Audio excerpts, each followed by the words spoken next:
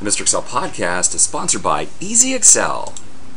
Learn Excel from Mr. Excel podcast episode 1472 Wrap Cells and Shrink to Fit.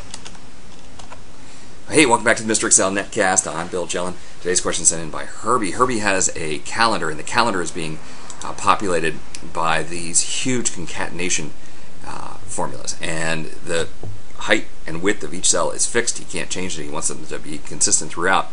Uh, but he would like to turn on both wrap text and shrink to fit. And unfortunately, that is not something we do. We do control one.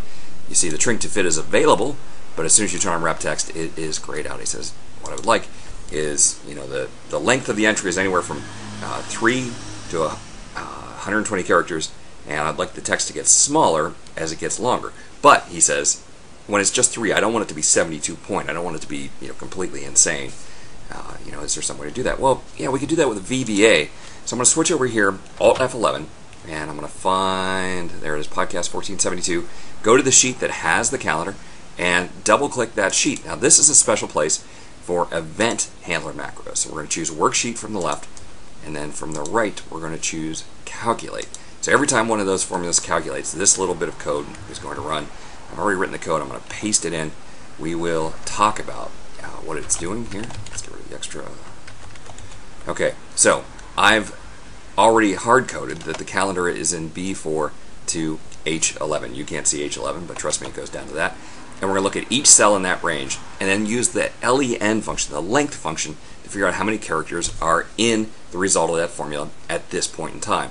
If it's less than 30, I'm just going to leave it at 11. But as we get longer and longer and longer and longer, I keep making the font size smaller. All right, so let's come back here and we will calculate this first of all to see if it's if it's working. All right, and so here I can see that it's not quite right. It's not uh, uh, quite working the way that I want it to work. So maybe we need to make the, the size smaller. Uh, we'll kind of go 9, 7, 5, 4, or something like that. And you really just kind of have to do uh, do some testing. There we go. So now it, it's all fitting in that cell. And as we add more descriptions to the places where this is pulling from, uh, then it automatically gets smaller. Now, it requires some tweaking. It's not as good as just turning on wrap text, but if you think about it, uh, you know, in 15 minutes of you know, testing this text and seeing how it looks at that size, uh, it should come up with something pretty clever. So that automatically going to 7 point, and this one here, which is shorter, stays at 11 point. And again, as that underlying uh, cells down here change, let's just come down here and we'll type something really, really, really long.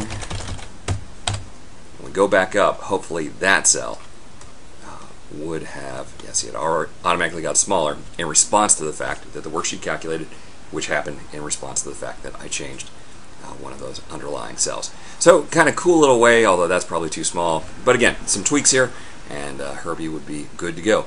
Combining wrap text with a different uh, VBA shrink to fit. Uh, great question. I want to thank Herbie for sending that question in. And I want to thank you for stopping by. We'll see you next time for another Netcast.